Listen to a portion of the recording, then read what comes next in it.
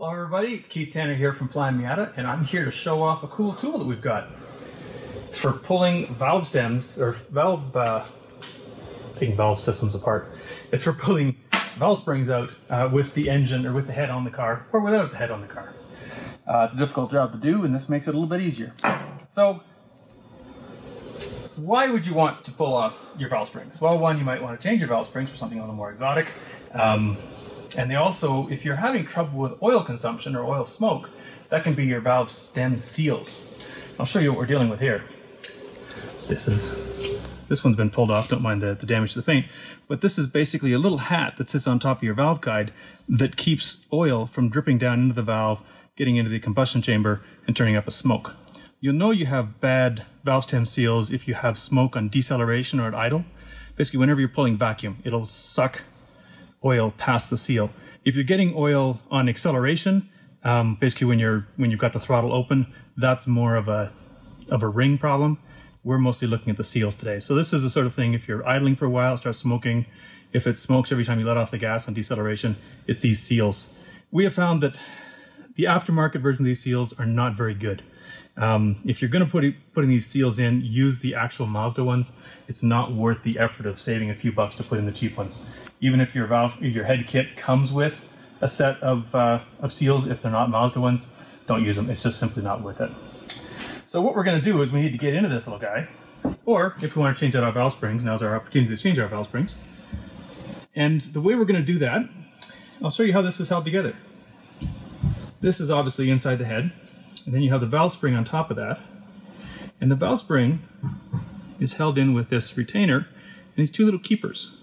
They're wedge shaped and they simply go over, they clip onto the top of the valve like that. There we go.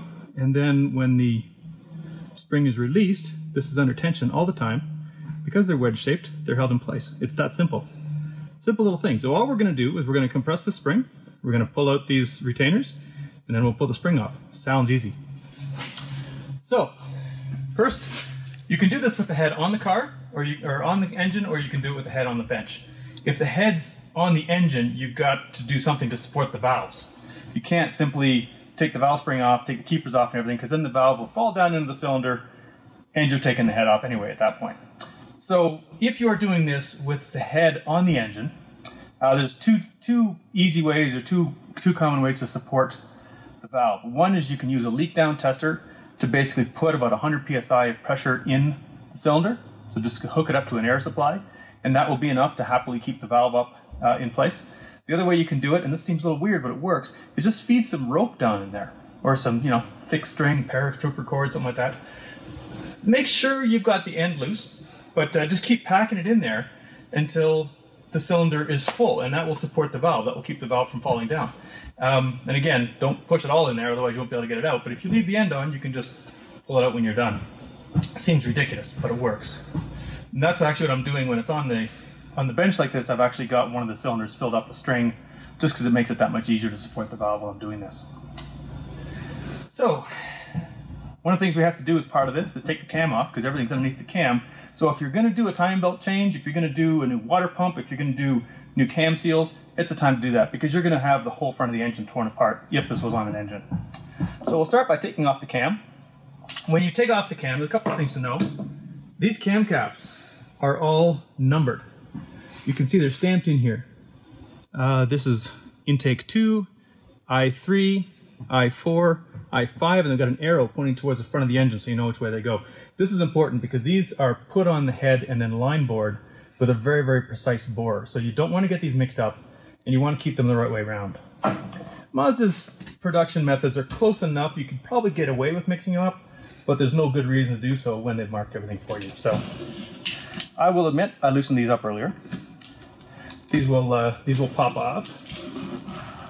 When you're loosening off a cam, you're going to want to do it starting at the middle, kind of like a valve cover, starting at the middle and working your way out so that you don't put a lot of stress on one side of the cam and not the other. Because um, this thing is under pressure from the valve springs. And if you loosen off everything at this end and leave it locked down to this end, it's a lot of stress on the camshaft. You know, it's one of those legends say that you can damage your camshaft. I don't know if you actually can, but Mazda says take them off in a sort of spiral pattern like this. There's no reason not to. Once again, it's uh, it's simply good practice. And you're going to find when you take these off that most of them, the cam doesn't just pop off anyway. You'll see this in a moment. I didn't get those out all the way, did I? One more time with the magic T-bar here. If you have any questions about what I'm doing, go ahead and ask them. I will do my best to answer them.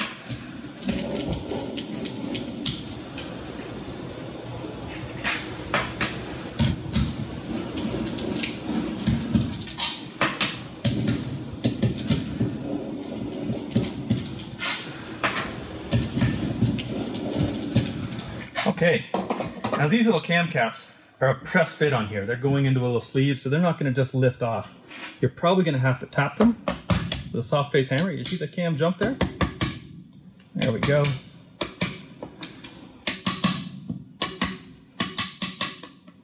Come on, how'd you come? There we go. So again, you can see it better on this one. See that E2? This is exhaust number two, and that arrow goes towards the front. So pay attention to that. Keep everything in the right order.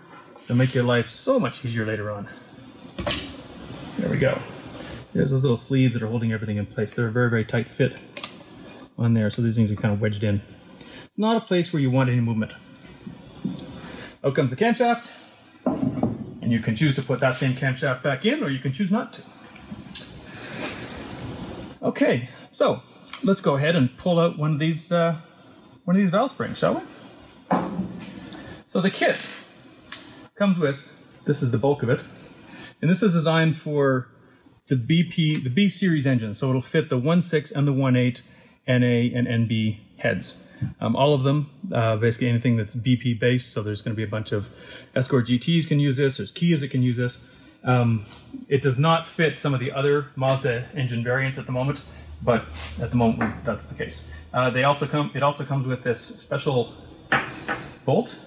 Comes with some extreme pressure lubrication, this funky little hat, and a super screwdriver. Now this screwdriver is actually important. You're going to use this because it's got a magnet on one end. And the easy way to get the um, lifters out, pick them up with a magnet. It's one of those things you're going nuts trying to pull them out with pliers, you'll damage something, but with a magnet, super easy every time. Let's get, put that one back in there. I don't need to take it off. So let's take a peek down there. You can see, hopefully you can see, I'll get you a little light on there. There we go. There are my two keepers. Those are the two guys I need to get out. So we're going to push down on the uh, on the valve on the spring top, and then get these two little keepers out of there. I've seen a tool that actually makes this super easy. It's basically a tube with a couple of magnets inside. You put the tube on there, hit it with a hammer. It momentarily compresses the spring. The magnet pulls these two guys out, and then uh, and then it all relaxes again. Um, great tool if you have it. Very special use, but we'll show you how to do this without that tool because the tool doesn't help you put them back in again, which is part of the fun. We had someone ask if these tools are actually for sale on our site. They are for sale on our site. Thank you for asking. Um, they are a uh, valve spring removal tool, I think is what they're called. Uh, they are $74.99, including shipping inside the US. And it's one of those tools that if you need one, you really need one. Um, it's very, it's almost impossible to do this job without some way to to compress the valve springs. Um, it is impossible to do this job without some way to compress the valve springs. And if you've got an engine that's smoking a little bit at uh, an overrun and at idle, this is an easy way to fix that problem without having to go to the trouble of tearing an engine down. So I put our special little compressor hat in there. And I'm going to take some of this extreme pressure grease, just lube up the lube up the threads. No point in tearing our nice little tool apart. Make sure you get this seated in properly. It's a, it's at quite an angle, so you want to make sure you get that right. So I'll just start this until I start feeling some pressure. That's a 14 millimeter head. Proper, proper uh, metric size, of course. Come on you go. You could probably use an impact gun for this. I like using a wrench because you're not, a little way to go. Um, you're not putting a lot of pressure on this and it gives you better control. So here we go. It's starting to compress. And they look like they're about out. Now I like to take a little poking device and just pop them out of place. Lets me know when I'm far enough down. Not quite there yet.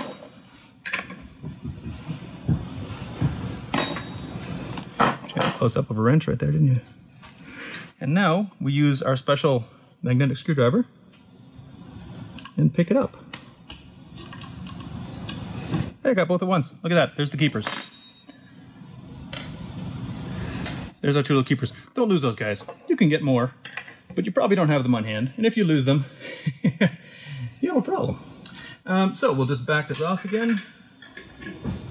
There you come. Take all the pressure off. And the easiest thing to do here is actually just take the take the tool off the head. This doesn't have to be very tight, just just enough that it's not flopping around. Okay. And the bolts I'm using to hold those down are the same ones that were used for the cam cap. Take this guy off here. Once again, we use our magical screwdriver. There it goes on top of the spring. There's the spring itself. Okay, now if you look down inside there, there's our valve stem seal. That's the little guy that we're trying to change right here. He's sitting on top. Oh yeah, there we go. He's sitting on top of, uh, of the valve guide. If you go over here, you can actually see, here's a naked one. This is one, there's the valve guide itself. So our little, our little seal is just kind of pressed on top of that. He's sitting on there like a hat. So these can be a little cranky to get out. Um, they're, they're pushed on there pretty tight. If you're lucky, you just grab and you can pull straight up. And there you go, that came out. I will admit I might have cheated a little bit. That one is loose. You can get them from the sides and sort of wet, push them up a little bit. Be careful you don't scar anything. But you basically just grab that, pull it up. So there's our bad seal. This one's in bad shape now. I've taken it off a couple of times to show this off, but you've got that out, you've got your valve springs out. So now we're done. And we still have pressure in this cylinder. We have rope in this cylinder, something to keep this valve from falling down inside the uh, inside the cylinder. If that happens, if it does fall down inside and it completely lets go, at that point you're taking the uh, taking the head off. So don't do that. It's the hardest part about this job is getting the retainers back in place. They're fiddly little things, and you don't have a lot of room to work with. So here's a technique we've come up with that makes it easier. You can either use the extreme pressure sticky grease that came with this, you can use a little bit of uh, assembly lube. I'm going to use the grease that came with the kit because it's nice and sticky. What I'm going to do, and I'll do this when the valve, you know, inside the uh, inside the head, but I'll just reach in there and put a little bit of grease on the top of the valve stem near the groove. That's where the uh, that's where the retainers have to go, and that way, when the retainers are dropped in place, I can just stick them to the side of the valve stem seal and they'll hold in place and not fall out while you're looking to uh, compress the spring or release the spring. And that is the, by far the most annoying thing that can happen with this. If you don't do this, you can spend hours messing around. So a little bit of black grease on here. And I said you can use assembly lube. You can use just about any grease. You can see I've got assembly lube on this guy already. There we go. That's maybe more than I need, but it doesn't really matter. Put our spring back in. Make sure you get it sitting on its seat. It should sit pretty much level in there. Spring retainer, or spring retainer. And then you can sort of sit the two keepers in there, but they have a tendency to fall out of place. So I wouldn't recommend it. I'd recommend you actually just put them in later. So pop those out again because you can see what happens. They get stuck sideways in there. So we assemble our tool. Screw it down. Don't be too tight. We're not putting a lot of pressure on this thing. This just has to be tight enough that it doesn't move around. And then start to compress. Down you go. Actually takes a fair bit of compression to expose that groove. So we've got our spring compressed, and uh, you can see right here, you can see with this with this red um, grease I put on there, you can see very clearly that's the groove that we need to lock into with our uh, with our keepers. So I'm going to take it and stick it in there.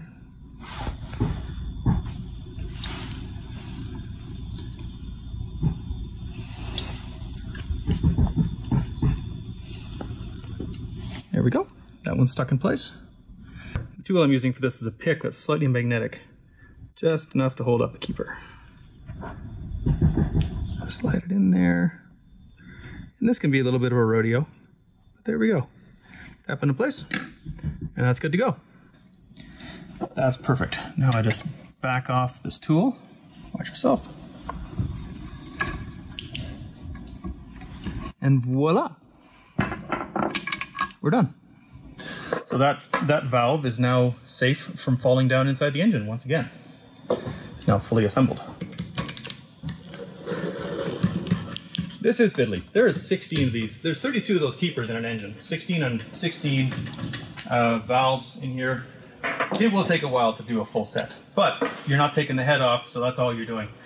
Um, when you're putting your your uh, lifters back in, again, if these are if these are getting old and rattly, if you've got hydraulic lifters like this particular head, um, you can get replacements for these. Uh, you may want to change them out. Um, if you're putting the old ones back in, it's good practice to make sure they go back in the same uh, valve they came on came out of. Um, and I think that's more of a that depends on the on the design of the valve train. But the idea is that these can some these can mate themselves to the cam, and it wouldn't hurt when you're putting this back together again. I'll pretend I've done all the rest of these. When you're putting them back together again, lots of assembly lube on everything. Put some assembly lube on here when this thing starts up because it's going to be starting up dry. Gooey. There we go. It's going to be starting up dry, so make sure you've got lots of assembly lube on anything so it comes in nice and clean. No, no extra, no extra friction the first time we start this up. Do you have any questions that I missed? I think you covered everything. We did have one person ask uh, if this video would be available later. We will make this video available later. We're going to put this on the product page, and of course, as always, we take our Facebook Live videos and um, and put them on YouTube. Uh, if you have questions about this particular process, feel free to ask questions in the comments, either on Facebook or on YouTube. We'll take that part out probably of the uh, of the product video. But um, but yes, definitely this is this is intended as a reference video so that when you do find yourself having to change out your valve stem seals or your valve springs, you will uh, be able to come back here and see how to use this job, use this tool. Again, this tool is available from from Flyin' Miata. We've got them on the shelf right now. They uh, seventy four ninety nine at the moment, at least, uh, including shipping inside the U.S. And if you have a Miata that leaks at idle, that leaks on deceleration, on closed throttle, um, if it's blow smoke, I mean, if it if it leaks oil and blows blue smoke, this is the best way to fix that problem is to change out those those leaky valve stem seals. So there we go. Uh, we'll be back next week with some uh, some more tech tips or and talking about some interesting things to do. We might have some computers going on next week to, to show you some some technology. But in the meantime, uh, everyone enjoy your week, and we will see you later. This has been Keith Tanner from Flyin' Miata.